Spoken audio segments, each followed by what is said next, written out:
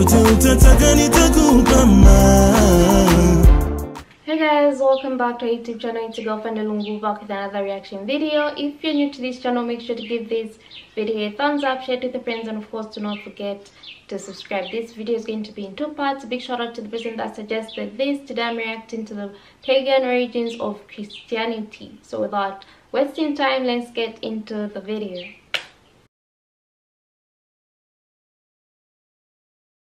Judaism, Christianity, and Islam are typically grouped together under the same umbrella of Abrahamic religion.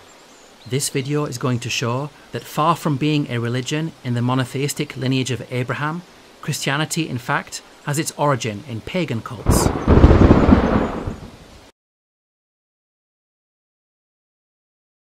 Christianity has the doctrine of the Trinity, in which God is said to manifest as three persons the Father, Son, and Holy Spirit. Let's compare this concept of three related divinities to different pagan religions. The ancient Egyptians had the trinity of Amun, Re, and Ptah. An Egyptian hymn reads, All gods are three Amun, Re, and Ptah. Babylonians worshipped the trinity of Nana, Shamash, and Ishtar. Hinduism has the concept of Trimurti, in which the supreme god, Brahman, is said to manifest as the three forms Brahma, Vishnu, and Shiva. The Hindu text Padma Purana states, He who is that eternal God became the three gods, Brahma, Vishnu, and Shiva. The Greeks had the goddess Hecate, whom they described as triple headed and goddess of the triple ways. The Romans venerated Diana as Diva Triformis, which means three formed goddess. A Roman poet wrote, O three formed goddess, to thee I dedicate the pine tree. Northwestern European tribes worshipped a group of three female deities known as matronae, which means matrons. Persians had the triad Ahura Mazda, Mithra, and Anahita. An ancient royal inscription reads May Ahura Mazda, Anahita, and Mithra protect me and my building against evil. We can see that this concept of three related divinities is an ancient phenomenon which has been present in different pagan religions throughout the world. It's important to point out that the Christian Trinity differs in its finer details when compared to these other cults. However, this basic concept of three related divinities is common to all of them and is fundamentally pagan. The Greek philosopher Aristotle had this to say about the mystical significance of the number three. Just as the Pythagoreans say, the whole and all things are delimited by the three, for end, middle, and beginning have the number of the whole, which is that of the triad. Wherefore, we use this number also in the worship of the gods, taking it from nature as a law of it. In Christianity, Jesus is the incarnate Son of God, who is said to possess two natures, one divine and one human. This idea of a God man hybrid is fundamentally pagan. Greco Roman religions were filled with tales of gods procreating with human women and begetting god men. For example, the chief god in the Greek pantheon, Zeus, visited the human woman Danae in the form of golden rain and fathered Perseus, a godman. Hercules, also the son of Zeus, is another example of a godman. The New Testament states that the role of the incarnate Son of God is to be the Saviour of mankind. The Father has sent His Son to be the Saviour of the world. The belief that gods became incarnate as men and acted as universal saviours was also common in paganism.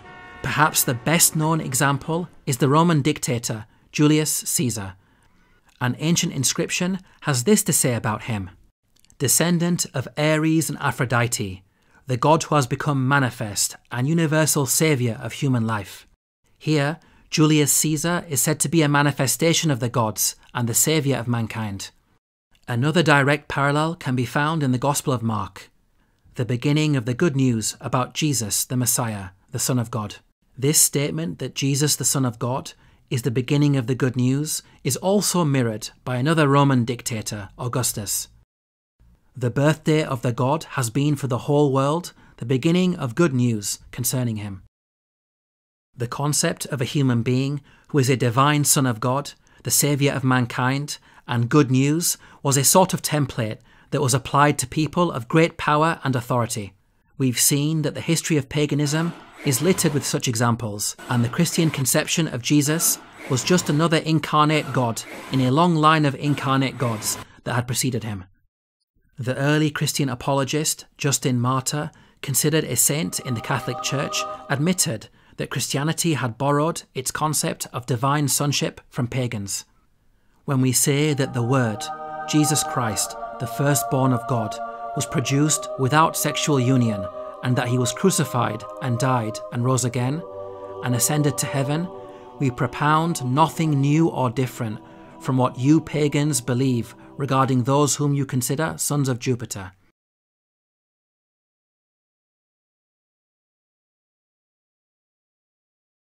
The Gospel of Matthew states that Jesus foretold he would die and rise again after a period of three days and three nights. For as Jonah was three days and three nights in the belly of a huge fish, so the Son of Man will be three days and three nights in the heart of the earth. Very early on, churches taught that during his three day and three night absence, Jesus descended into hell. The Apostles' Creed is an early statement of Christian belief. It states, I believe in Jesus Christ, his only Son, our Lord, was crucified, died, and was buried. He descended into hell. The third day he arose again from the dead. These beliefs mirror an ancient Sumerian myth about the goddess Inanna, which states, From the great heaven, Inanna set her mind on the great below. Inanna abandoned heaven, abandoned earth, and descended to the underworld. After three days and three nights had passed, thus let Inanna arise. The Gospel of Matthew also tells us that something extraordinary happened when Jesus died. At that moment, the curtain of the temple was torn in two from top to bottom. The earth shook, the rocks split, and the tombs broke open. The bodies of many holy people who had died were raised to life. They came out of the tombs after Jesus' resurrection and went into the holy city and appeared to many people. Now, none of the other Gospels mention this astonishing incident of the walking dead. Only Matthew reports it. Let's compare the accounts of Matthew and Mark regarding the death of Jesus. Notice that even though Mark's account is virtually identical to that of Matthew, Mark does not mention the rising of the dead saints. If such a miraculous event really happened, then there will be no rational reason for Mark to omit it from his Gospel.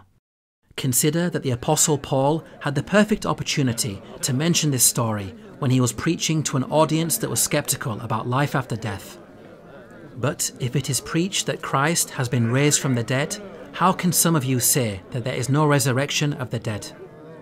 Paul could have easily proven that there is life after death by mentioning the numerous resurrections that took place when the dead saints walked the streets of Jerusalem. He did not mention anything about such an event because it never happened. Flavius Josephus was a first century historian who was born in Jerusalem. Even though he was a prolific writer and documented much about the city, he also failed to mention anything about this most public of miracles. Even conservative Christian scholarship rejects the historicity of this event. The New Testament scholar Mike Licona stated that this story is a strange report and literary special effects. The theologian William Lane Craig stated that, probably, only a few conservative scholars would treat the story as historical. If Matthew's story of the walking dead is an invention, then from where did he get his inspiration for such a tale? It just happens to be present among pagan cultures. The ancient Greeks celebrated a three day festival known as Anthesteria, during which it was believed that the dead came back to life and walked among the living in the cities. The Roman poet Virgil wrote that when Julius Caesar was assassinated, phantoms of unearthly pallor were seen in the falling darkness.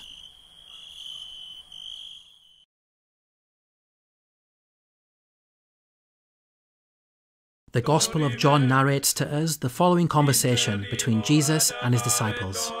This bread is my flesh, which I will give for the life of the world.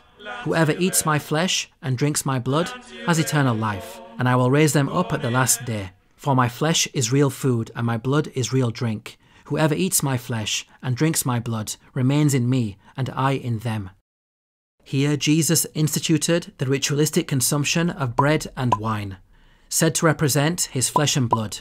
Note the great importance that is placed on the ritual. It will I mean, this has some very, very good um, information, and the comparisons they're making. Look at the goddess of Inanna and uh, Jesus' um, death.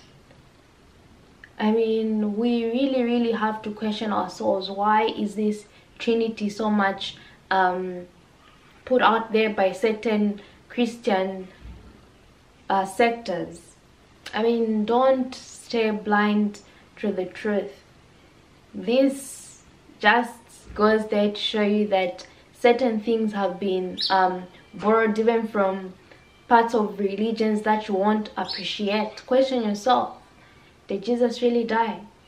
And the link between him and God being son, father thing, look at the way it's been explained here. I mean, this video has insane information. And the fact that at the end of Jesus, um, at least we have paused it, where they're having the Last Supper, he's talking of, of the bread being the flesh, the drink being his blood. If you guys watch uh, movies, then you know how maybe, what's his name? I was watching it. If you watched something on Tomorrow, but it's a DC comic thingy, so something of Legends of Tomorrow, when that guy took when that guy killed someone he actually takes blood to give to the other followers of his so that they can live longer. I mean guys that's just insane. Very very insane. We ask ourselves is this really true? Go back to your go back to your books. Read how things um, were, were founded and figure out what you want to believe in in this world.